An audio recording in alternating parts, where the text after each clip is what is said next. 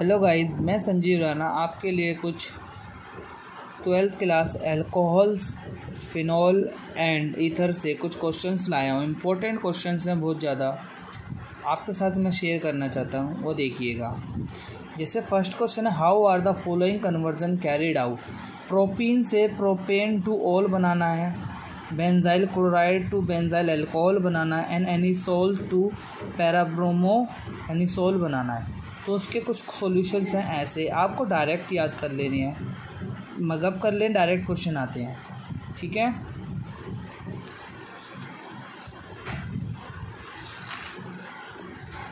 Next question है।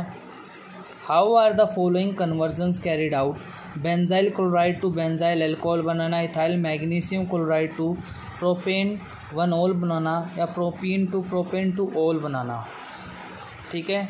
जैसे first ये दिख रहा होगा आपको आपको जहाँ पे भी पेंजिन रिंग के बेंजाइल के पास क्लोराइड हो या ब्रोमाइड हो डायरेक्ट आपका एक्वस के ओ एच ले लेना या एक्वस एन ओ एच लेना, वहाँ पे डायरेक्ट एल्कोहल बन जाएगा। ठीक है? बेंजाइल एल्कोहल बन जाता है। जैसे कि कुछ क्वेश्चन ये है। थर्ड पार्ट है, मैग्नी इथाइल मैग्नीशियम क्लोराइड से प्रोपेन वन ओल बनाना है। तो ये आपको दिख रहा होगा। ये ग्रिगनाड रिएजेंट है। ग्रिगनाड रिएजेंट के साथ हम रिएक्शन करा रहे हैं। मिल गया। और थर्ड पार्ट में प्रोपिन से प्रोपेन टू ओल बनाना है। तो हमने एक एज पर मार्कोनिक ऑफ़ रूल हमने फॉलो करा है। तो उसके वर्जेंस में हमने करा दिया है।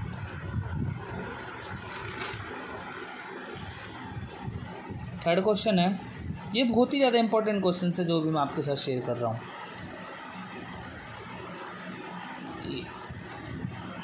ये देखिएगा। इनके सॉल्यूशंस हैं। फ़र्स्ट सेकंड इधर है, फिर थर्ड इधर है। ठीक है? फोर्थ क्वेश्चन है ये रहा।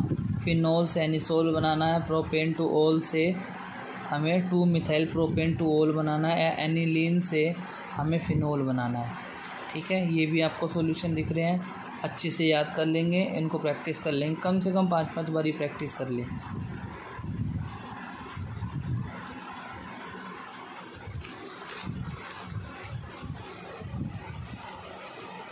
देखिएगा थर्ड पार्ट है उसका। क्वालिटी ख़राब हो तो बताना मुझे, मैं अच्छी कर लूँगा और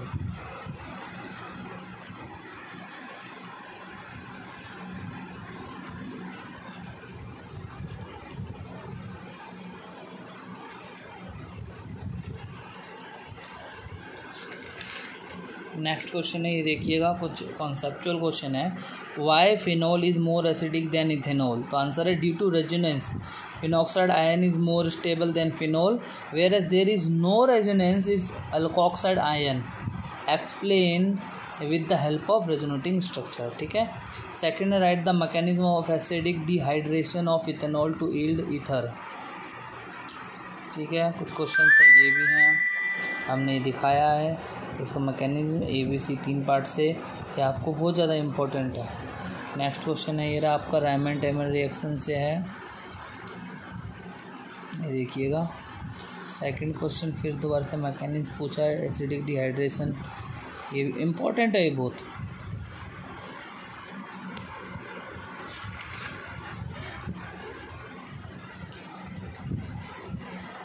और ये कि आपके लिए होमवर्क है। इसको करना, मेरे पास अच्छा लगेगा, आप प्रैक्टिस करोगे तो मुझे।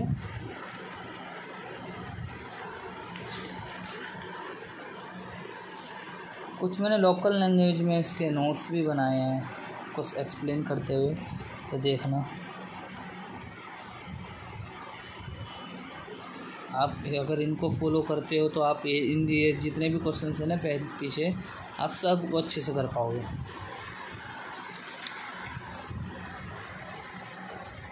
अभी तो लाइव क्लासेस ले नहीं सकते हैं। कोरोना काफ़ी ज़्यादा फैल गया है।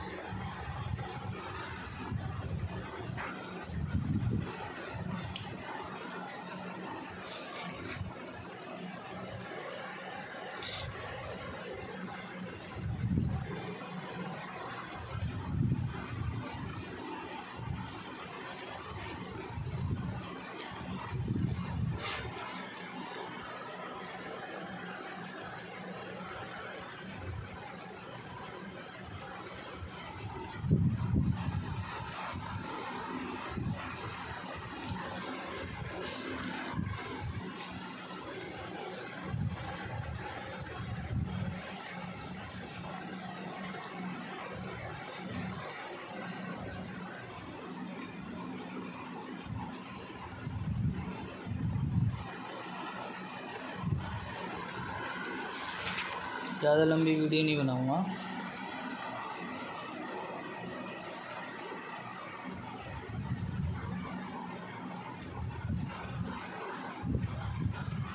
अगर हम ग्रेगनाट रिएजेंट के साथ फॉर्मेल्डिहाइड को ट्रीट कराते हैं तो प्राइमरी अल्कोहल बनता है। एल्डिहाइड या किसी भी टाइप का एल्डिहाइड ले लो फॉर्मेल्डिहाइड को छोड़ के। आप ग्रिगनाड एजेंट के साथ कराओगे ट्रेड तो हमें सेकेंडरी अल्कोहल मिलता है, और केटोन को कराएँगे ग्रिगनाड एजेंट के साथ तो हमें टर्सरी अल्कोहल मिलता है। ठीक है? लाइक करना सब्सक्राइब करना।